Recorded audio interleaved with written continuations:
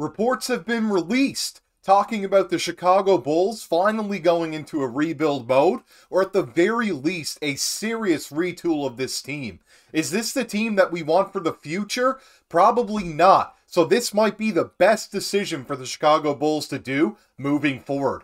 I'm your host, Joey Mercer. This is another episode of Bulls Digest. And before we get into it there today, I just want to say that about 88% of you that watch these videos are not subscribed. So make sure, if you aren't already subbed to the channel, to go down below, hit the subscribe button, turn on the bell for notifications, and you will be updated every single time that we upload via notifications on whatever device you watch this on. So without further ado, let's get into the topic at hand of today because it's a really big one, and that is crazy plan just might work. So yeah, I mean, we've discussed a few different scenarios as the trade deadline is just around the corner on February 8th, and we've talked about individual trades, but we haven't necessarily talked about a step by step plan. We've talked about multiple trades that could happen, but we haven't talked about trades that should happen in a step by step situation. These have all just been hypotheticals brought up by the media or rumors within different franchises, but this one right here was by a writer that really caught my attention. The title of the article was Chicago Bulls three step pipe dream plan to retooling flawed roster into contending one. There are potential moves the Chicago Bulls can make to retool roster into a contender one. And that article is by Matt Sidney. And uh, really, really interesting read here because, like I said, we just haven't seen this type of article come out about the Bulls so far this year. This one started out by saying the Bulls have been wanting to compete for years, cutting corners in player development and trading their young assets for veteran players. The out of nowhere Lonzo Ball injury surely has dampened several of the expectations over the past two years. Regardless, the Bulls need to help if they want to continue to try to complete. They need to have the pieces to legitimately contend. And that is very accurate. I mean, this team has just been very stubborn in the fact that they don't want to take the time, it seems like, until more recently, of course, and really put the time in with these younger guys, give them the proper player development they need. And instead, they're like, yeah, we got these young guys too. Hopefully, they can produce right now because we're going to go out and get whatever talent we can get to try to make a playoff push. That's not always the greatest decision, and it hasn't really worked out in the Bulls' favor because they haven't had any playoff success. They've only made the playoffs once over the past several years. It's been a while. And outside of that, I mean, they lost in five games to the Bucks. I mean, it's not much to look at there. And when you look at how the team is performing so far this season, it's once again a team that hovers just below 500 and is around a playing spot. It's not exactly what we're looking to do, and you need to make a drastic change to either get us in that push over the edge that we can perform well in a playoff, or just completely rebuild and tank this thing because it just isn't working. The next thing we saw in it was a potential trade, which would send Chicago Bulls uh, point guard Lonzo Ball to the Portland Trailblazers. We would also send back Patrick Williams and 2026 first round pick for Jerami Grant. Jerami Grant has obviously been a great player so far this year. Uh, really, really bad rebounder. I'm going to come out and say that right away. He averages like four rebounds a game at a power forward position. One of the worst rebounders in the league at that position. Although he has shot the ball really well at about 40 41% from the three point land and is a solid scorer for the Trailblazers, but he's still on the Trailblazers. Uh, he has put up numbers on teams that have been solid in the past, like the Thunder as well as the Nuggets, but not exactly quite the guy that we're looking for. This said that the Chicago Bulls could look to offload Lonzo Ball's contract, seeing as though we will never really know when he will ever take the court again. The Bulls include young 22 year old Patrick Williams and a first round pick in the trade to bring some sizzle to the trade for the Portland Trailblazers.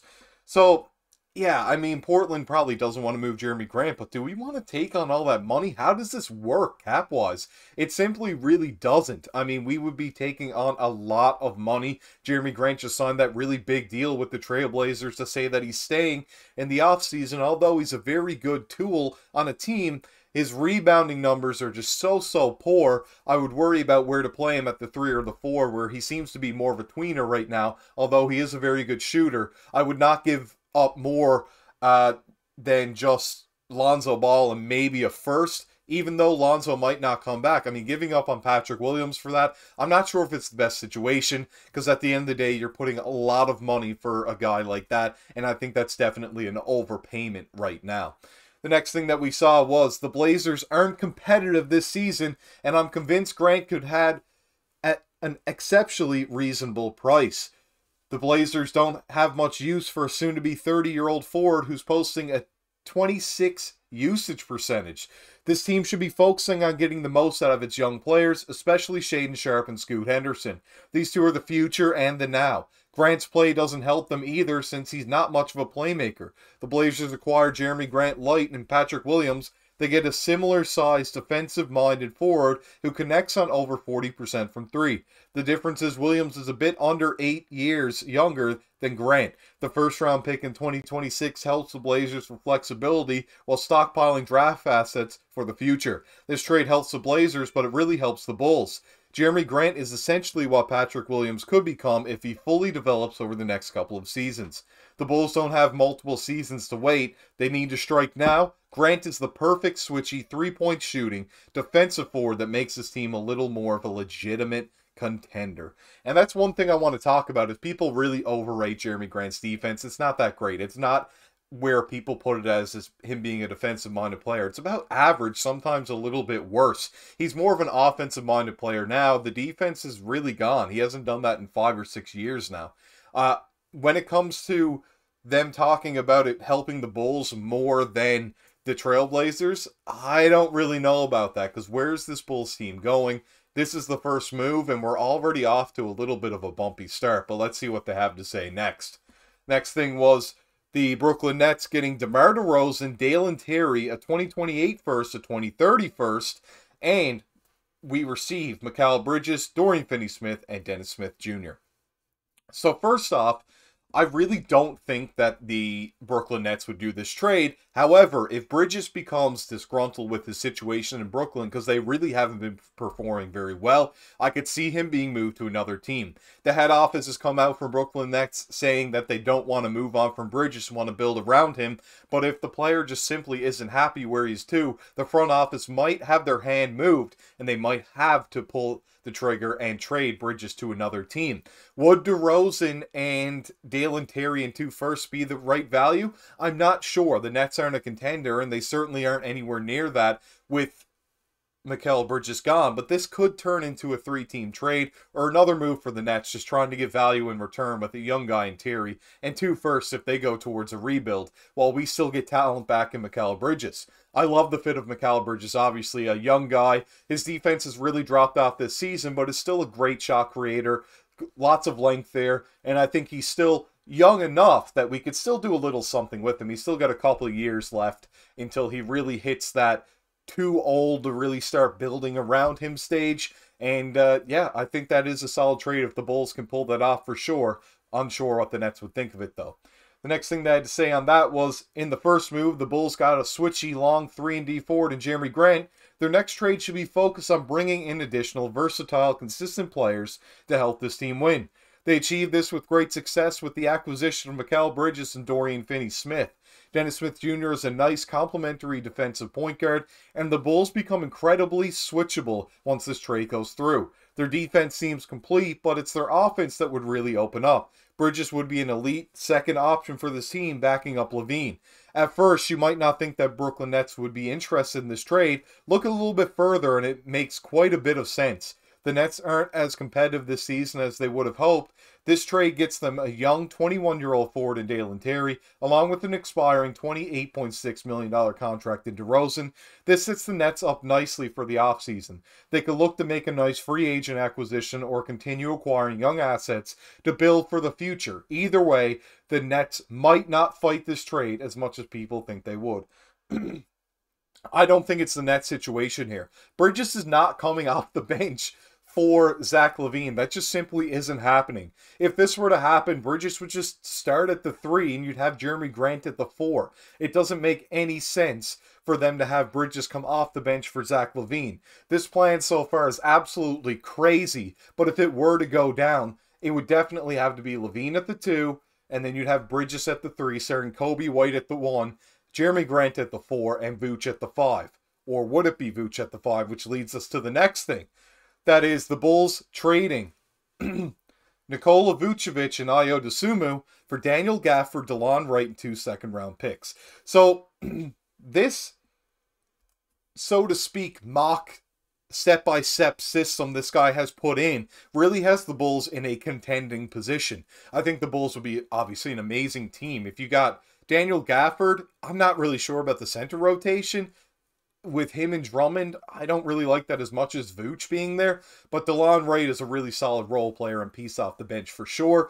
Do I think that the Bulls should go ahead and do that trade? Probably not. I don't think you're getting anything more out of Daniel Gafford that you're not getting out of Drummond off the bench. I mean, I don't really see that. Gafford's one of the worst starting centers in the league right now because he's on the Wizards. He'd be a backup on any almost any other team, and that's just 100% accurate. He's a guy that really hovers around the rim, can't really shoot or create anything, and he is solid at blocking shots, but his overall defense is a little bit lackluster. Even if he is having a good night defensively, he's still only scoring just around the rim. Vooch is able to stretch the floor, hit some people on cuts, and it's just an overall better offensive player. Although Gafford might pick up some things that Vooch lacks on defense, you're not really gaining a whole lot defensively to make up for the lapse in the offensive talent there. So that's probably the trade that I like the least. Then it goes in saying that the final move for the Chicago Bulls to turn this team into a true contender is to get a more defensive minded center. In this trade, they bring in big man Daniel Gafford. Gafford is in the middle of a career year for him. His numbers might be modest, but he's posting career highs in points per game at 11 and rebounds per game at about 8 and blocks per game at 2. DeLon Wright joins in on the trade mostly for salary matching purposes. In theory, he does offer good size for a point of attack defender. His offense won't wow you, but his defense and size will be great for specific matchups. The Wizards might as well trade everyone who has value who won't be on this team long term. Gafford and Wright could easily be had for the right price. It might seem a bit contradicting, but the Wizards do give up two second round picks in the trade. They do this because they are getting the best player in this trade in Vucevic and a young promising guard in Dosunmu. Feel free to haggle on what the exact return should be for Dosunmu and Vooch, but the final move to make the Bulls true contenders is complete. The Bulls can now focus on gelling and getting comfortable with one another on the court before a hopeful long playoff run.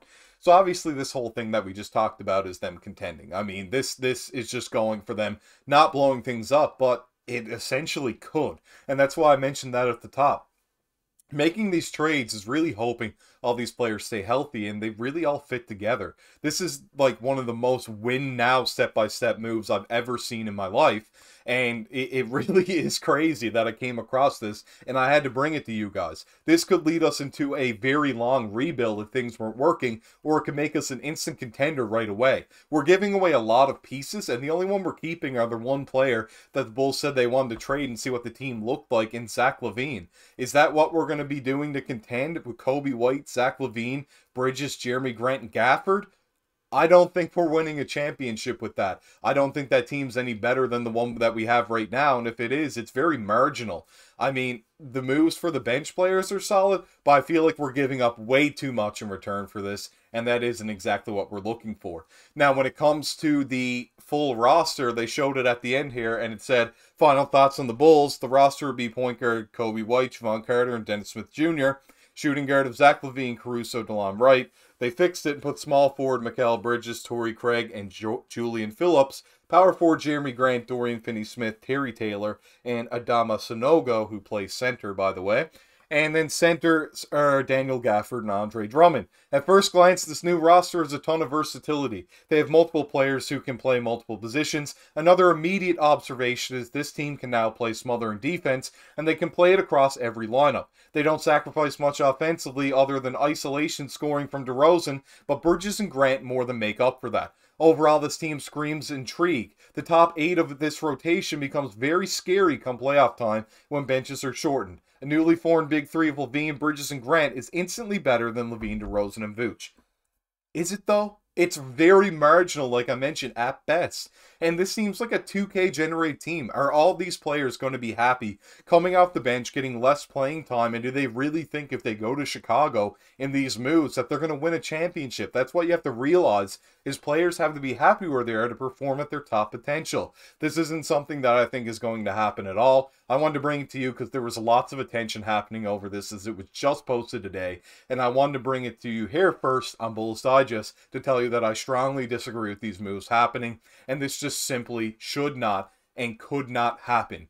Please, please believe me here first that this is not what the Bulls should be doing. And if they do, we're going to be in a almost forever rebuild. Anyways, this has been your host, Joey Mercer. I hope you did like the video today and my take on it. I hope you go down below, hit the like button, comment on the video. I love to hear from all you guys. And uh, make sure to subscribe to the channel. We're doing videos every single time we get an update here for the Chicago Bulls. And uh, yeah, hit that bell right there for notifications, and I'll see y'all in the next one. Sign off.